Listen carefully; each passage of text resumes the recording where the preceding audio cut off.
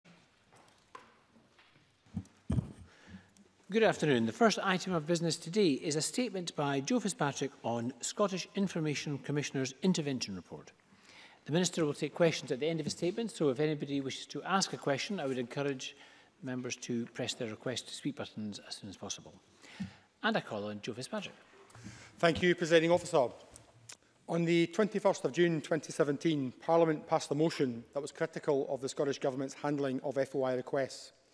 The motion called for an independent inquiry into the way the Scottish Government deals with requests and for post-legislative scrutiny of the Freedom of Information Scotland Act 2002.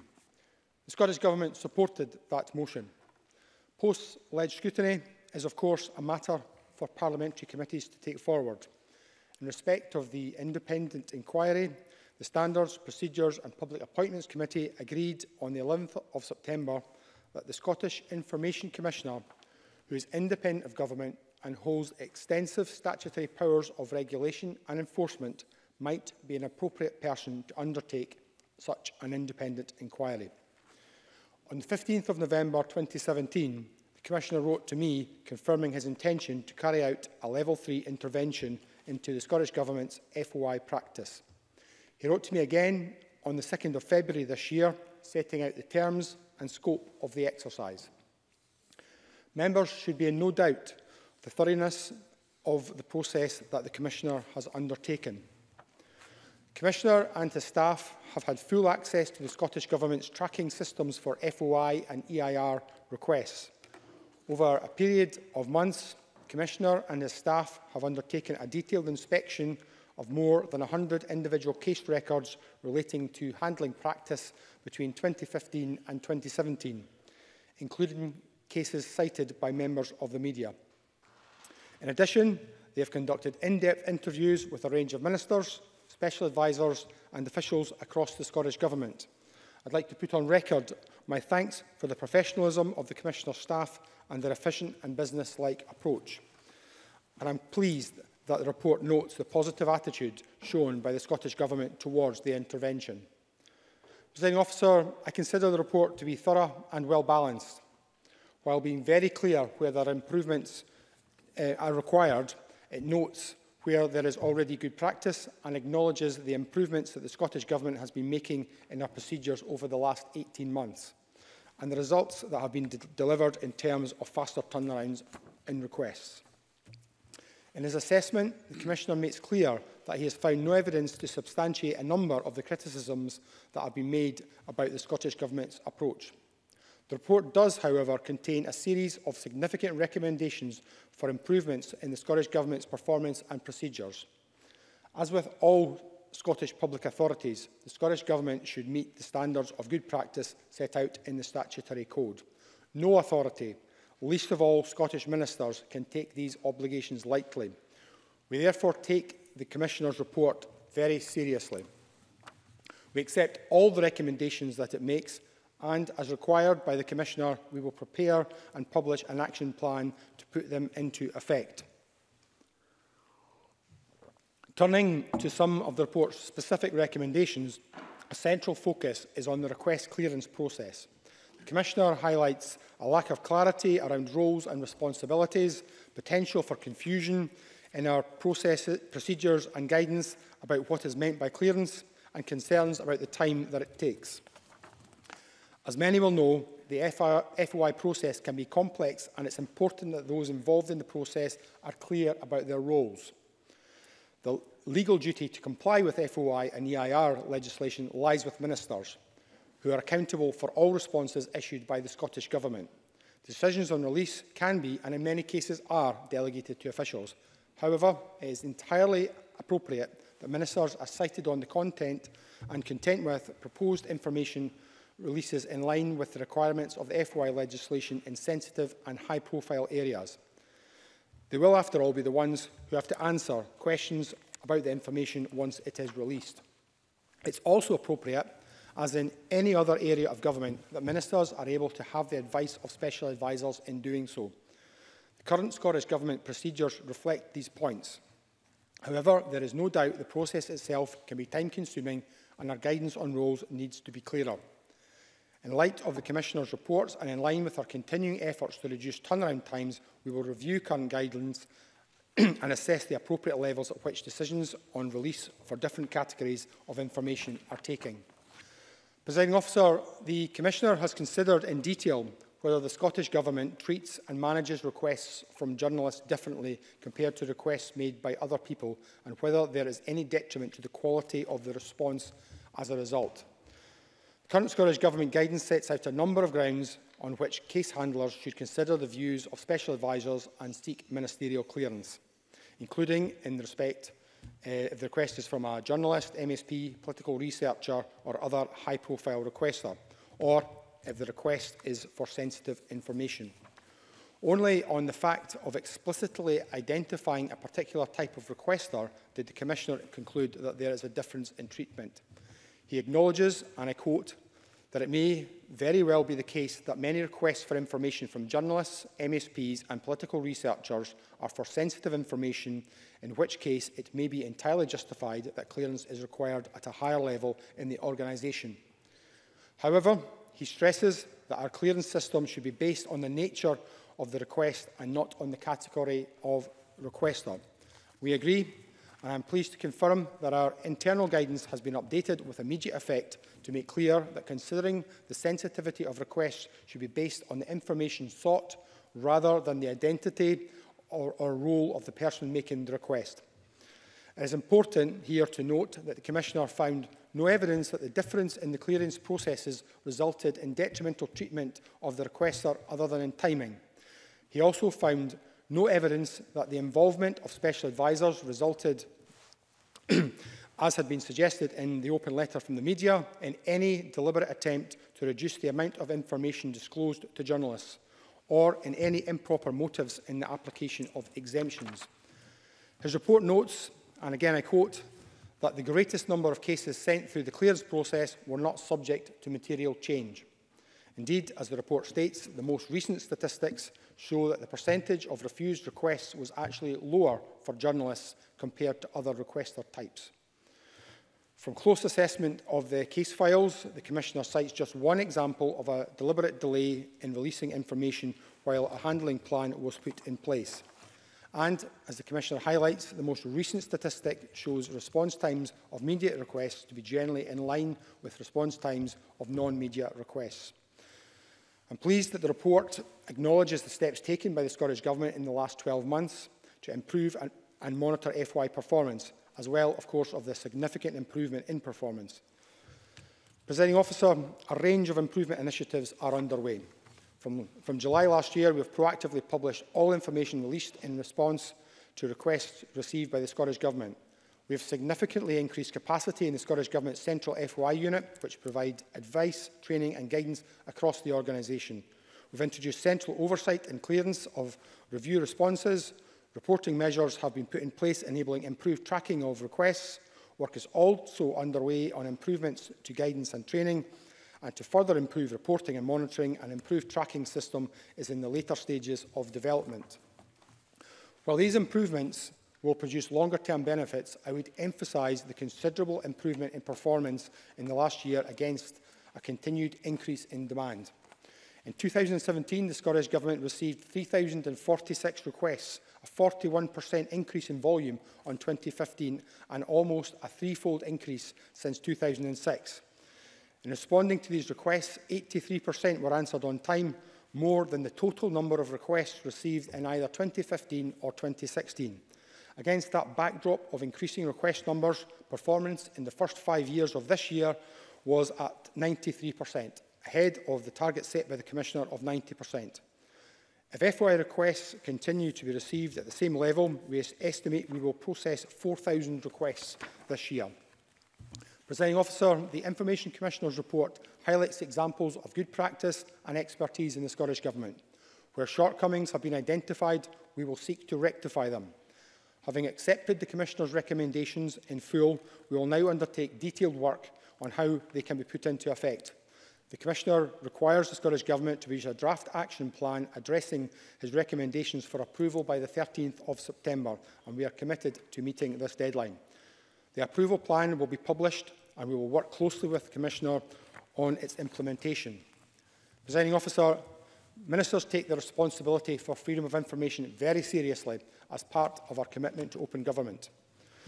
The Parliament can be rightly proud of Scotland's FOI regime. The aim of any Scottish Government should be to act as an exemplar of good practice. Today's report provides a firm basis for achieving that aim.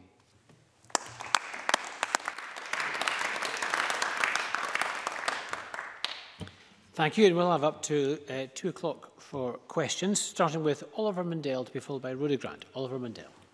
Thank you, President Officer. Listening to that statement, it's not entirely clear uh, that we were uh, reading the same report. After more than a decade in power, it's unbelievable uh, that it's going to take a report like this to even get the Cabinet Secretary to budge an inch uh, from where we were last June.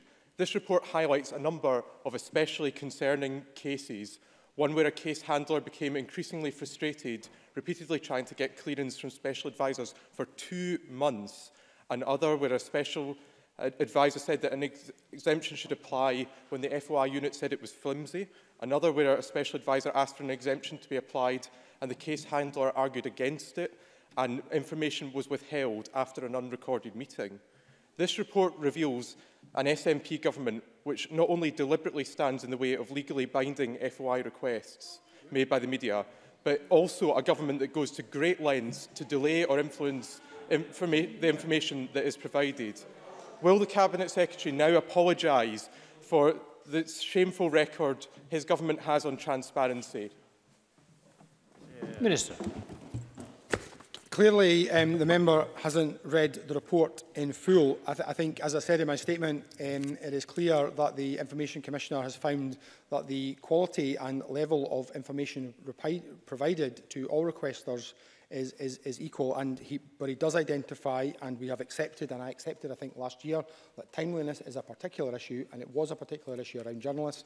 He also identifies the progress that has been made since last June. The member says that we're, we're no further forward um, since last June, but the report clearly identifies the substantial progress that has been made since, since last year. Over the last 18 months, substantial um, progress in terms of the um, quality and timeliness of our responses in spite of a significant increase in the um, level of FOI responses that I received. And I have to put on record my thanks to the staff across the Scottish Government who, in spite of increased workload, are, are, have, have managed to um, rise to the challenge of, of that increased level of FOI response. We believe firmly that FOI is, um, is, is an important right,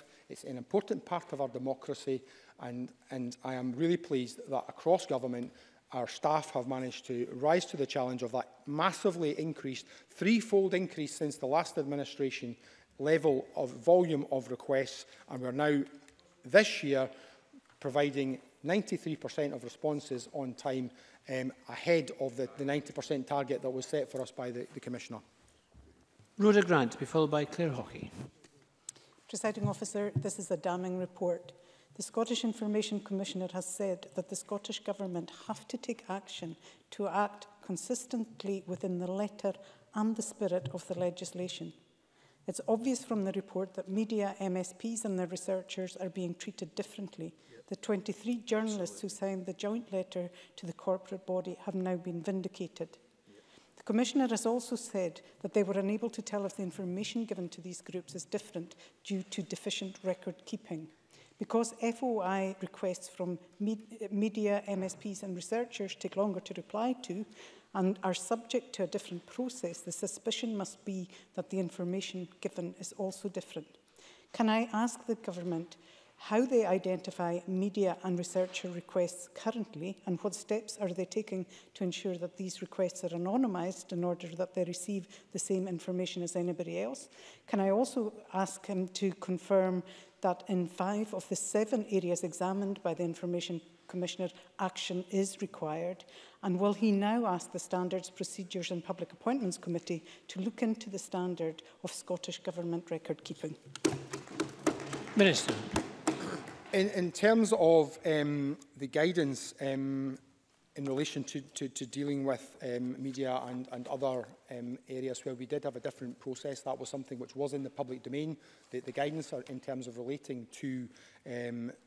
uh, different types of, of requester was something which was had been in the public domain for a considerable amount of time, so it's not some, some secret um, um, document or secret approach to government.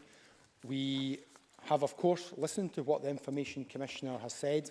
And while we've said that we will work on all of the areas where there are recommendations um, with the Commissioner to put in place a plan, we felt that that was one recommendation where we, we felt it was important that we make immediate changes. So we have today and made changes to that guidance um, to make it clear that media and MSPs and researchers, etc., should not be treated differently because of their, their, their, their, their position, and that's in the public domain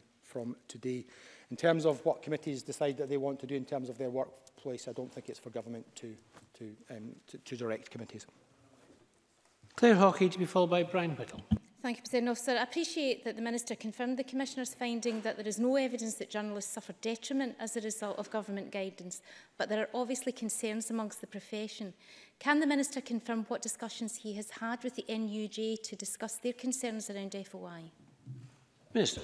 I think the, the member is right in, in terms of the commissioner, commissioner's um, finding, um, but as I've said, he did make a, I, what I think was a strong recommendation, and we have put in place new guidance on that matter.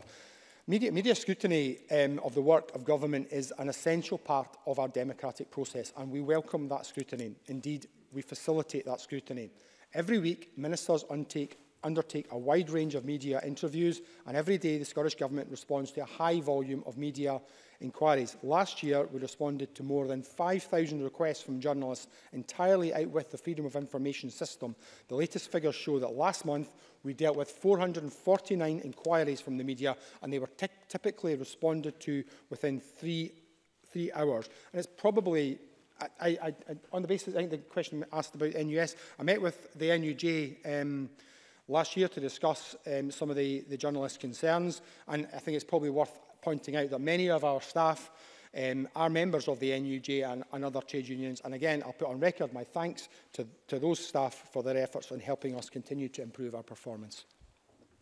Brian Whittle to be followed by James Dornan. Uh, thank you, Presiding Officer. I think this report begins to reveal uh, uh, uh the sort of Scottish Government's uh, uh, standard of response and it's, and it's starting to slip. And I have personal experience of the lengths that the government will go to to ignore or prevent information from reaching the public domain. And I think this is not only a problem with FOI requests, but of parliamentary questions and written answers, with MSPs across the chamber routinely receiving the low power responses. I've already raised this with my own party uh, to raise with the corporate body. If transparency is the key presiding officer for holding government to account, will the uh, Cabinet Secretary commit to not only taking on this report's recommendations, but also looking into the government's record in answering parliamentary questions? Minister. Tra transparency is actually, you're, you're, you're very right, it's very, very important. Um, I, th I think the parliamentary process around parliamentary questions are are very transparent. A member will put in a, in a question, a minister will respond to it. If the member doesn't like the answer, they'll try and ask, ask the question in another way. And all that is done. I, I don't see how that can be any more transparent than it is. Um, the member mentioned um, information um, getting into the public domain. The Information Commissioner's report does not substantiate the comments that the member made there. Um, but further to that, this government has gone further than I think any government, not just here in Scotland, but across the, across the UK in putting, proactively putting information into the public domain um, And, and I think that is something that I am very keen to continue to do. I think the information is, is very, very important. We are very keen to um, take steps to continue to empower our population, and information is very much a part of that um, and we'll continue taking the steps that we are taking. Clearly, um, members of the public have to get their information from a, a range of sources and if the UK government were to follow suit of the Scottish government then there'd be a lot more information in the public domain. James Dornan to be followed by Neil Findlay. Thank you, President Officer. I think that was an, an opportune time for a Conservative politician to mention transparency. But uh, well, the Minister stated that the Government will produce an action plan to put the Commissioner's recommendations into effect. Can he provide any further info about the plan at this stage? Minister. So, um, obviously, we're going to take some time to um, look at the, the, the recommendations in detail, and we will work with the Information Commissioner to make sure that the way we propose to take that forward in our plan um, will uh, uh achieve the, the aims that both he and we were, are, would be seeking. Um, The, the deadline would be for that to be published um, and agreed before the 13th of March, 13th of September, um, and we will, of course, um, put that plan and the proposals um, in the public domain. Neil Findlay to be followed by Colin Beatty. Uh, with this report, the government has been found bang to rights poor, uh, procedures and practices, and inadequate record keeping, political filtering, withholding of records, unjustifiable delays, discrimination against journalists, MSPs and researchers, and so much more. So now that the government has been rumbled on, on how it disseminates information, what is it going to do about a key issue, not within the remit of the report, but mentioned in it, namely the recording of information, minute-taking and the generally poor or non-existent record-keeping of the government?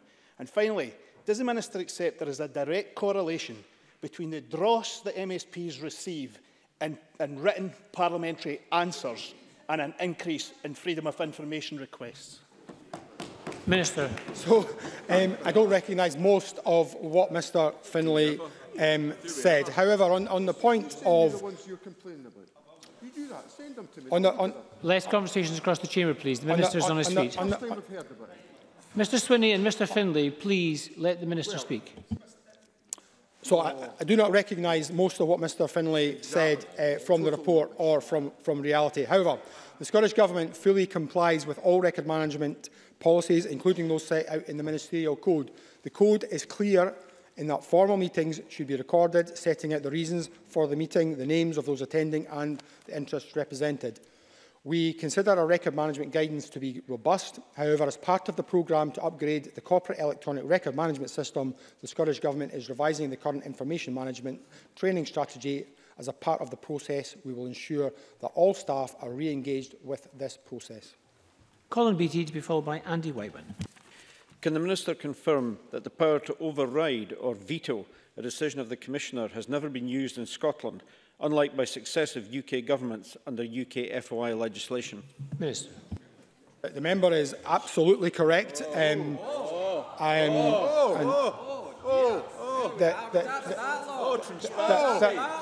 well, that's interesting, isn't it? Order, please. Let's hear the Minister.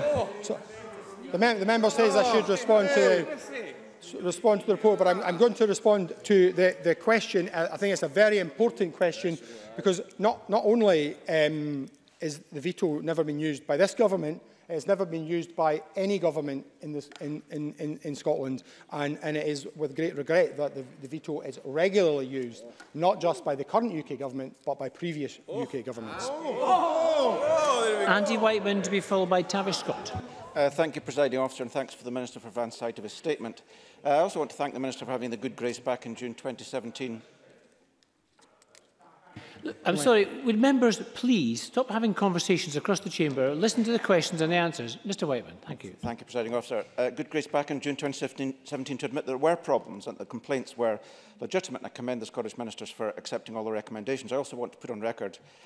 uh, the commendation for the Scottish Information Commission on a very thorough piece of work, which does reveal serious failings. For example, it does make clear that different treatment was given to journalists and MSPs and that this has no basis in law. Can I ask the Minister two questions? First of all, given that in his statement he says that the legal duty to comply with FOI and EIR legislation lies with ministers, and given that the, the Scottish Information Commissioner say in paragraph 140 that there's nothing in FOI law or the code of practice that permits authorities to treat certain group of requesters less preferentially than others, given that, does he agree that the Scottish Government have broken the law? And secondly, why did Scottish ministers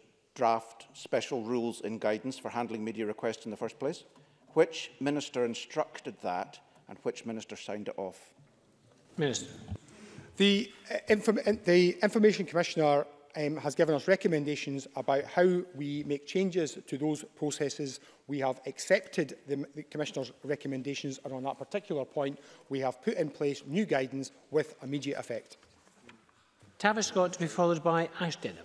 Thank you, Mr. Also, can I also thank Mr. Fitzpatrick for the courtesy of sending out his statement? And can I say it would help his front bench if they didn't spend the entire time shouting at everyone else during the seriousness of this, uh, of this uh, issue. Um, So Mr Swinney didn't like it, and he spent the entire time the Parliament will reflect shouting at everyone else during the course of this uh, statement. And his department's one of the worst in here. Um, the uh, uh, the uh, uh, the minister was, uh, was brave enough to admit that MSPs and journalists have had their requests handled in a different way from other people uh, that make FOI requests. Why was that so? What is the definition of sensitive information that he mentioned in his earlier answer? Who defines sensitive information? Which minister will make the decision over what is sensitive or not sensitive? And will he lay those answers uh, in the parliamentary library so we can all see them in the transparent that way he mentions. Uh, finally, presiding officer, uh, when the former Deputy First Minister Jim Wallace introduced the FOI regime and legislation back in 2002, the SNP's front bench spokesman Michael Matheson said, and I quote, the effectiveness of the bill will not merely be down to its provisions, a change to the culture of secrecy that exists is required. If that's so, why have we needed today's statement and this report? Minister. Well, the report was a, a, the response to um, a parliamentary motion um, just over a year ago. The Standards Procedures Public Appointment Committee made the point that they felt it was appropriate that the Information Commissioner was the right person to carry out that inquiry, and I'm giving a statement today to respond to those, those points. Um, as a government, we are taking on board the points that the report has made. Um, and, and, you know, I would have thought we should be thankful for that. We are already going further than any government has ever gone in the coverage of freedom of information. Um, I will be soon bringing forward uh, regulations to extend freedom of information to cover um, social landlords, something which the previous administration never managed to get around yeah. to. Um, and we are making efforts, um, not just in, in terms of the way that we deal with to improve um, the way that we deal with freedom of information requests, but we are, I think, very significantly making substantial efforts to increase the level of information which is released proactively. I think that's important because proactive release means that the information is there before people have to even request it. And I would encourage anyone to look at the Scottish Government's new website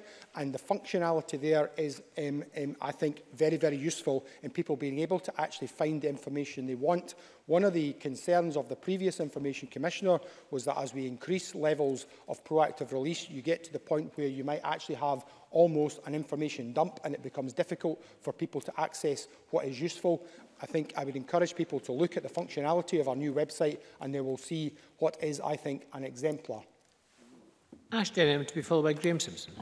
Thank you, Presiding Officer. The Minister mentioned that work is happening in terms of improvements to guidance and training and that an improved tracking system is now being developed. Can he provide any timelines for these being finalised and in place? Yes, sir. Yes, the um, training is, is ongoing and we will continue to work with the Information Commissioner to, to make sure that the training that we are providing across, across the, our organisation, across the government, is as appropriate as it should be. Um, we've also obviously increased the um, staffing of the central FOI unit, which is there to provide extra guidance and support um, across government. Uh, the new tracker system, I think, um, will be very important. It, it should be rolled out, I think, I hope, Um, it's always a bit, a bit risky to give a, a definite date for when a, new system will be rolled out, but we anticipate, anticipate it to start in August, and that's part of um, a range of dis digital improvements across the Scottish Government. Graham Simpson to be followed by Willie Coffey. Um, just reading directly from the report, um, journalists together with MSPs and political researchers are expressly made subject to a different process for clearance than other requester groups. While I received reassurances throughout my interviews that journalist requests were dealt with in the same way as requests from any other person, this is clearly not the case. Now, I'm going to ask the same question that two other MSPs have asked already. We haven't had an answer. Why was it not the case? Why were journalists dealt with differently? Minister. The government officials um, would provide responses in line with the guidance which was in the public domain and had been for a number of years. And today we've accepted the Commissioner's recommendations to change that guidance, provide clarity And I, I, I would hope that members would, would support that. Willie Coffey to be followed by Edward Mount. Thank you. Uh, I know it's a long and fading memory since the last Labour Lib Dem administration, but could the Minister outline how this government's performance in terms of requests answered on time compares with the last full year of that previous administration? Minister. The, the, last, the last full year um, of um, the previous administration, the Um, response rate was 61%. Uh, in 2017, um, the Scottish Government responded to 83% of requests on time. And I, uh, uh, again, I think we need to, to remember to put that in the context of the near threefold increase in the volume of requests. And, and if we look at that even further, in terms of this year, we are responding to 93% of responses in, um, in, in spite of um, further increase in, in, in, in requests. Um, and again, again, I want to put on record my thanks to all the staff who have helped us in making that, achieving that 93% target.